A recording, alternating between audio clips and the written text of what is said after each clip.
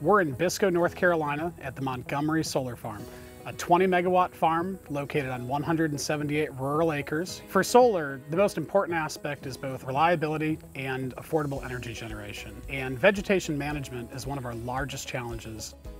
At this site, we use a mixture of both sheep and also manual labor in order to keep the vegetation under control. We see perhaps one of the greatest potentials for the Honda autonomous work vehicle is to work alongside our existing vegetation management crews. It allows our crews to pay attention to the small details from a safe distance and allows the Honda autonomous work vehicles to get into some of the dirtier areas and very close to the equipment to work safely. We see that an autonomous solution could provide a very consistent and accurate vegetational solution. We believe this will allow our vegetation management crews to work more quickly and provide a better service throughout our fleet of solar projects.